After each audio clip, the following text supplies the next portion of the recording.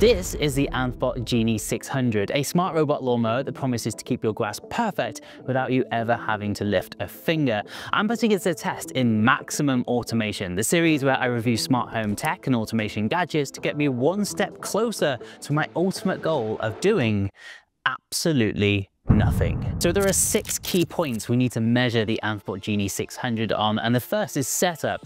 Overall, it was fairly easy, and at some points, dare I even say, a little bit of fun. So there's no need for boundary wires with this or digging trenches. You get a base plate which doubles as your charging station and then you get a tall pole included with the GPS receiver on top. Stick that into the ground, plug it into the included power cable and you're basically good to go. The whole hardware side of things takes around about 10 minutes to get set up. That part was quick but the more technical side of things not quite as smooth. Right out of the box I had a firmware update and this took around about an hour to complete even though I was right next to my router, full bars, great Wi-Fi. In the end, a quick restart of the Genie did solve this, and after that, it was pretty plain sailing. The good news is the over-the-air updates does mean that the mower is going to stay up to date and actually get new features as you go along. Once it's all powered up and updated, you're then going to jump into the app and follow the guided setup, and then comes the fun part mapping your lawn. So usually, especially with older robotic lawnmowers, you'd actually have to go around your garden, dig trenches and put in a boundary wire.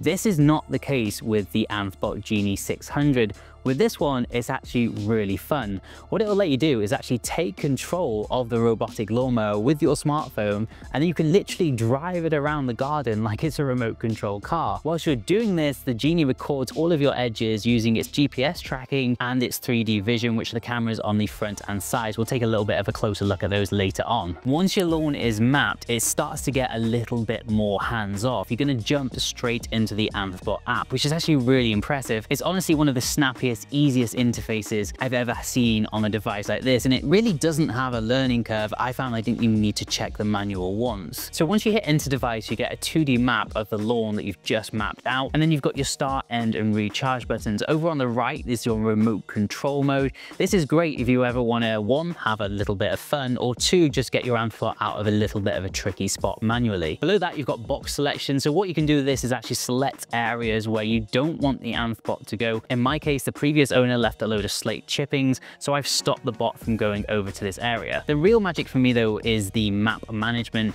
So you can carve out your garden into different zones, each with its own mowing height, direction, and AI sensitivity, which is actually crucial. For my stone slab path that I have going through the middle of the garden, I'll be honest, the Anthbot does struggle with that. Its AI detects this as a hazard and it kind of tries to avoid it. So what I've done is selected this zone and then I've changed the AI sensitivity to low so it doesn't see this as a hazard and it just drives straight over it. There's a couple of other things you can do. You can even tell the mower how many passes to make and even make one section diagonally striped and the other horizontal if you're feeling a little bit fancy. There's also edge edit to hug the borders cleanly and an edit map option to tweak boundaries or draw a pathway from the base station. There's tons of other settings to explore, but my number one top tip is go straight into the general settings and turn down the absurdly loud robotic voice. I actually moved into this property around about two weeks ago and started setting this up at 7 a.m. and I kind of regretted it. For me, the combination of fast hardware setup and genuinely powerful, easy to use controls makes it one of the smoothest onboarding processes I've ever seen with a device like this. So for me, the Anthbot Genie 600 gets an easy 9 out of 10 for its setup process, but what about its performance? So the first thing that I noticed and was genuinely really pleasantly surprised about is just how wonderfully quiet this thing is. Even on its lowest lowest cutting height, you actually have to stop and really listen out for it. This means that you can comfortably run this in the early hours of the morning or overnight without waking yourself or your neighbors, so long as you turn that absurdly loud voice down. It's also surprisingly quick. There's a real sense of confidence with the Anthbot Genie 600 that I've not seen with other similar devices, like my robot vacuum, for example, that goes all over the place. This just knows what it's doing, where it's going at all times. It's not completely flawless though. Occasionally occasionally, when heading back to his charging station, it will take the more scenic route. Now, diving deeper into the performance, we've got that AI vision. This generally works really well for obstacle avoidance. It dodges things like toys, pots, and anything that looks like a hazard, but I was a little bit surprised it doesn't automatically recognize simple hard surfaces like a path and just roll over them without me having to set up a new zone in the app. I kind of would have expected the AI vision to be smart enough to detect this kind of thing. When it comes to the quality of the actual cut, it's actually pretty excellent. The lawn is left with a clean, even finish, and you can even achieve those sort of professional looking lawn lines if you really want that. It gets impressively close to most edges, though in some tighter, more complex areas, like next to my planters, it does really struggle to get those last little bits of grass. But I have to say, this garden is a little bit of a mess. I've only moved into this property two weeks ago,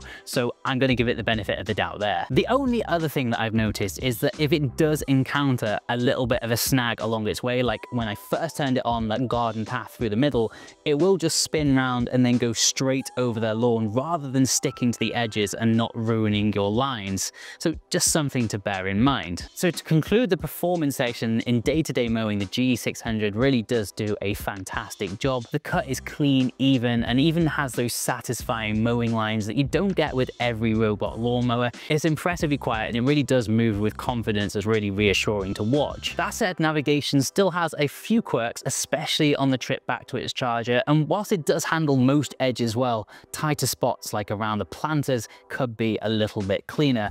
Obstacle avoidance is solid for bigger items, but I'd love to see it handle more common hard surfaces and also just automatically detect things that can definitely get over without me having to draw zones in the app. Taking this all into account, the performance gets a solid 7.3 out of 10 from me, but what about how much time it saves you? Now, this is where the Genie 600 really leans into that do absolutely nothing promise. From the app, you can set up mowing schedules once and just never think about it again. You can set it daily, twice a week, or even at different frequencies for different zones. If it automatically pauses for charging or rain, it'll automatically pick up exactly where it left off as well. So it really is a hands-off experience once it's all set up. So I've gone ahead and done a little bit of math. For the average homeowner, you're actually looking at saving around 30 to 40 hours of your life over the course of a year. And if you are a keen gardener, this could go up to well over 50 hours over the course of a year as well. And on top of all this, you could actually save hundreds in running costs as well, as there's no petrol for this,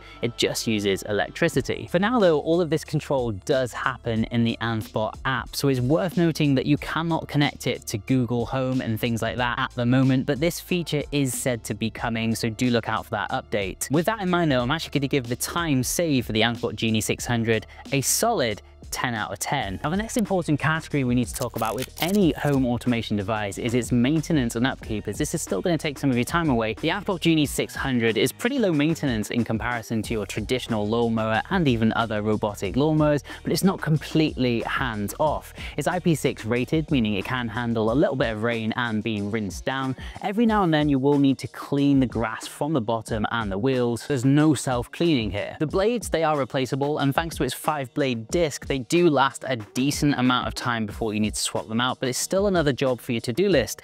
Battery life is pretty good. You get about an hour per charge, and whilst charging takes just 90 minutes, over time that battery will slowly degrade like any rechargeable pack. The great thing about the Genie 600 though is that it will pop itself on charge and even continue on with its jobs without having to be prompted. So whilst the Anthbot Genie does remove your weekly mowing, there is still a little bit of maintenance and upkeep, and that firmware update really did upset me. So solid 5 out of 10 for maintenance and upkeep over the long term. Next is the most important category, it's value for money. Is a robotic lawnmower actually worth the money? And specifically, is the Anthbot Genie 600 worth your hard-earned cash? The Genie 600 sits squarely in that mid to upper tier of robot lawnmowers. You're not getting the cheapest gadget, but you are paying for high-end features like wire-free GPS mapping, multi-zone control, and AI obstacle avoidance that comes packed with a lot of other smart tech.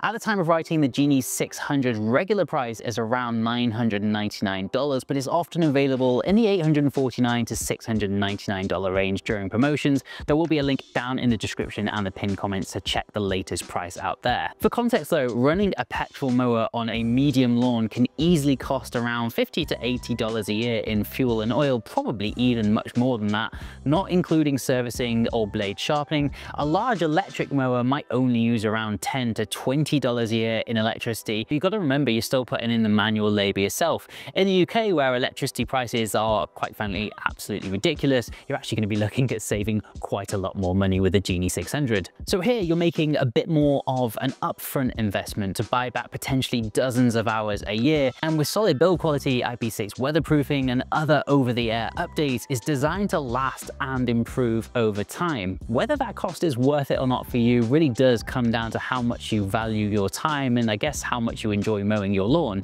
For me, to have a lawn in a great condition 24-7 almost, that's priceless. So the Genie 600 really does strike a good balance between features and price. So on the value for money front, I'm going to give it a solid 7.5 out of 10. We're not quite done yet though, we've got one more category to cover and that's its automation level. The Genie 600 takes most of the physical work out of lawn care. Once you've got set up with your zones and your schedules in the Anthbot app, it just gets on with the job, auto-resuming after charging or rain, navigating most of the garden on its own and then sending alerts if anything interrupts it. But there is one big limitation for me at the moment and that is no Google Home, no SmartThings and no voice control at the moment. Those integrations are reportedly on the way, but as of the time I'm reviewing this, all interaction happens through the Anthbot app, which is a very good app. It's very responsive, full of options, but it still means that Genie isn't fully tied to your wider smart home setup. So until Google Home support does drop, I'm gonna give it a solid seven out of 10 for its automation level. Now for the final verdict, is the Anthbot Genie 600 worth your hard-earned cash? Is it a good robot lawnmower?